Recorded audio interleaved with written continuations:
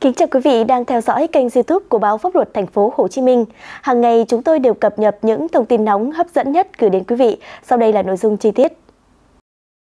Theo thông cáo từ Thông tấn xã Việt Nam, sáng 16 tháng 5, hội nghị lần thứ 9 Ban chấp hành Trung ương Đảng khóa 13 đã khai mạc trọng thể tại thủ đô Hà Nội.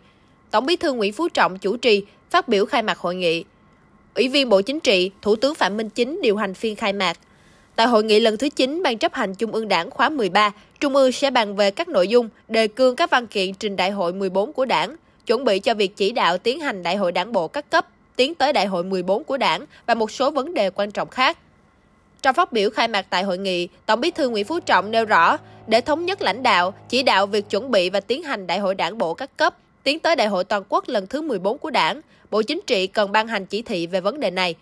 Đây là công việc quan trọng, bảo đảm thành công của Đại hội Đảng bộ các cấp và góp phần cho thành công của Đại hội toàn quốc lần thứ 14 của Đảng, cần được Trung ương cho ý kiến. Tổng Bí thư nói và cho biết thời gian qua, Bộ Chính trị đã chỉ đạo tổng kết việc thực hiện chỉ thị 35 2019 của Bộ Chính trị khóa 13 về vấn đề này. Tổng Bí thư Nguyễn Phú Trọng khẳng định những kết quả, bài học kinh nghiệm cần được kế thừa, phát huy, đồng thời chỉ rõ những hạn chế, khiếm khuyết cần rút kinh nghiệm và kịp thời điều chỉnh. Trên cơ sở đó, xây dựng dự thảo chỉ thị mới trình Ban chấp hành Trung ương cho ý kiến để hoàn chỉnh trước khi ban hành.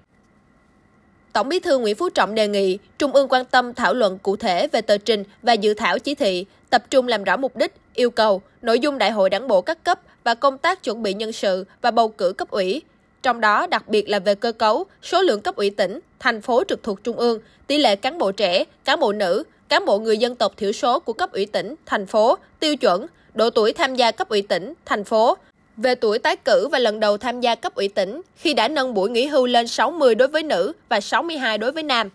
Về bầu cử cấp ủy và bầu đại biểu đi dự đại hội đảng bộ cấp trên.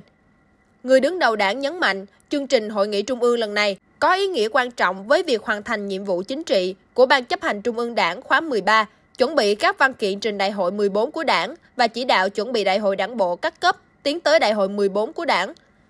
Tổng Bí thư Nguyễn Phú Trọng đề nghị Trung ương phát huy trí tuệ, tinh thần trách nhiệm, tập trung nghiên cứu, thảo luận kỹ lưỡng, cho ý kiến để hoàn thiện các báo cáo, đề án và xem xét, quyết định vào cuối kỳ họp. Theo chương trình, hội nghị làm việc đến ngày 18 tháng 5. Ngày 13 tháng 3, tại Hà Nội, Tổng Bí thư Nguyễn Phú Trọng, trưởng tiểu ban nhân sự Đại hội 14 của Đảng đã chủ trì phiên họp tiểu ban. Tham dự phiên họp có thành viên tiểu ban gồm các đồng chí Ủy viên Bộ Chính trị, Chủ tịch nước Võ Văn Thưởng, Thủ tướng Chính phủ Phạm Minh Chính, Chủ tịch Quốc hội Vương Đình Huệ, Thường trực Ban Bí thư, trưởng ban tổ chức Trung ương Trương Thị Mai, Bí thư Trung ương Đảng, chủ nhiệm Ủy ban Kiểm tra Trung ương Đảng Trần Cẩm Tú. Dự phiên họp còn có các thành viên tổ giúp việc của tiểu ban nhân sự. Tiểu ban đã nghe tổ giúp việc trình bày các nội dung liên quan đến tiểu ban nhân sự, thành viên tiểu ban đã thảo luận cho ý kiến. Phát biểu kết luận phiên họp, nhấn mạnh vị trí, ý nghĩa, tầm quan trọng của công tác chuẩn bị nhân sự đại hội, Tổng Bí thư Nguyễn Phú Trọng, trưởng tiểu ban nêu rõ, hiện nay cùng với việc chuẩn bị và tiến hành đại hội đảng bộ các cấp, Đảng ta cần chuẩn bị Đại hội đại biểu toàn quốc lần thứ 14 của Đảng, dự kiến tổ chức vào quý 1 năm 2026. Tại hội nghị lần thứ 8 vào tháng 10 năm 2023, Ban chấp hành Trung ương đã quyết định thành lập 5 tiểu ban chuẩn bị Đại hội 14 của Đảng tiểu ban văn kiện, tiểu ban kinh tế xã hội, tiểu ban điều lệ đảng, tiểu ban nhân sự và tiểu ban tổ chức phục vụ đại hội. Hai nội dung quan trọng nhất của mỗi kỳ đại hội đảng là việc thảo luận, quyết định đường lối, nhiệm vụ chính trị của đảng, gọi tắt là thông qua các văn kiện, và bầu ra các cơ quan lãnh đạo của đảng, gọi tắt là công tác nhân sự. Hai nội dung này liên quan chặt chẽ với nhau đều phải chuẩn bị thật tốt, đặc biệt việc chuẩn bị nhân sự đại hội có vị trí, ý nghĩa cực kỳ quan trọng là nhân tố bảo đảm cho thành công của đại hội và triển khai thực hiện thắng lợi các nghị quyết của đại hội. Tổng Bí thư nhấn mạnh, Ban chấp hành Trung ương là cơ quan lãnh đạo cao nhất giữa hai kỳ đại hội đảng, là bộ tham mưu chiến đấu, hạt nhân lãnh đạo chính trị và là trung tâm đoàn kết, thống nhất cao của toàn đảng, toàn dân tộc đây là đội ngũ cán bộ cấp chiến lược, là tinh hoa của đảng, đòi hỏi phải thật vững vàng, có đủ bản lĩnh, phẩm chất, trí tuệ, có uy tín cao để giải quyết những công việc ở tầm chiến lược, xử lý kịp thời đúng đắn có hiệu quả những tình huống phức tạp liên quan đến sự nghiệp xây dựng, phát triển và bảo vệ đất nước, sự sống còn của chế độ. Do đó, cần phải khẳng định và thấm nhuần sâu sắc vị trí, ý nghĩa của công việc cực kỳ quan trọng này không chỉ đơn thuần đối với việc tổ chức một đại hội đảng, mà đây là công việc có ý nghĩa chiến lược gắn liền với vận mệnh của đảng, sự tồn vong của chế độ, sự phát triển của đất nước.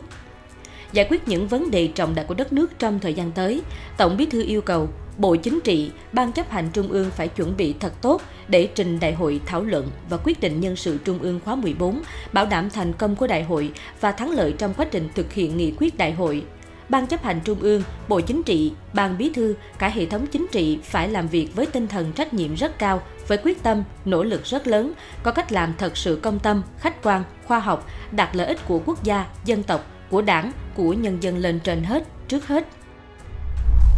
Để chuẩn bị nhân sự đại hội 14 của đảng, Tổng bí thư chỉ rõ vấn đề quan trọng hàng đầu là phải xác định đúng yêu cầu xây dựng ban chấp hành trung ương mà hạt nhân là Bộ Chính trị, ban bí thư, lãnh đạo chủ chốt của đảng, ban chấp hành trung ương khóa 14 phải là một tập thể thật sự đoàn kết, trong sạch, vững mạnh, thống nhất cao ý chí và hành động.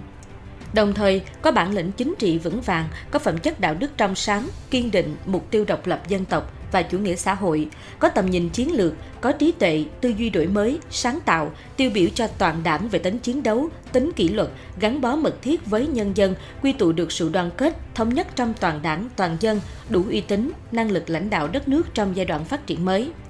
Ban chấp hành Trung ương khóa 14 cần có số lượng và cơ cấu hợp lý để bảo đảm sự lãnh đạo toàn diện, tăng cường số lượng ủy viên Trung ương Đảng ở các vị trí, địa bàn, lĩnh vực công tác trọng yếu, bảo đảm tính kế thừa, ổn định, đổi mới, phát triển liên tục. Việc giới thiệu nhân sự nói chung phải trên cơ sở quy hoạch, giữ vững nguyên tắc, quy chế, quy định, phát huy trách nhiệm dân chủ, công khai, minh bạch, khách quan trong đánh giá, giới thiệu, lựa chọn nhân sự tham gia ban chấp hành Trung ương Bộ Chính trị, ban bí thư và các chức danh lãnh đạo chủ chốt của đảng, nhà nước nhiệm kỳ tới. Ủy viên Ban chấp hành Trung ương khóa 14 phải thật sự là những đồng chí tiêu biểu của đảng về bản lĩnh chính trị, phẩm chất đạo đức và năng lực công tác, bảo đảm tiêu chuẩn chung của cán bộ phải vừa có đức, vừa có tài, trong đó đức là gốc.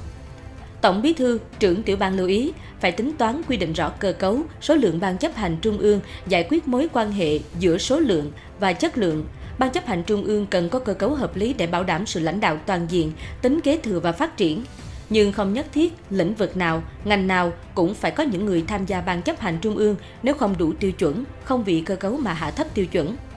Trong cơ cấu của Ban chấp hành Trung ương khóa 14, Tổng Bí thư nhấn mạnh cần chú ý bảo đảm tỷ lệ hợp lý đối với cán bộ trẻ, cán bộ nữ, cán bộ người dân tộc thiểu số, một số nhà khoa học và nghệ sĩ, lãnh đạo một số tập đoàn, tổng công ty lớn của nhà nước đủ tiêu chuẩn điều kiện tham gia Ban chấp hành Trung ương. Rút kinh nghiệm từ các khóa trước, việc xác định số lượng ủy viên Ban chấp hành Trung ương khóa 14 cần căn cứ chủ yếu vào yêu cầu, nhiệm vụ và đòi hỏi của tình hình, căn cứ vào yêu cầu lãnh đạo toàn diện đối với các địa bàn, lĩnh vực công tác, đặc biệt là phải bảo đảm chất lượng, tiêu chuẩn, không thuần túy chạy theo số lượng. Những nội dung vừa rồi đã khép lại thông tin này của chúng tôi. Cảm ơn quý vị đã luôn đồng hành, theo dõi và ủng hộ kênh YouTube của báo Pháp luật thành phố Hồ Chí Minh. Xin chào và hẹn gặp lại quý vị ở những thông tin sau.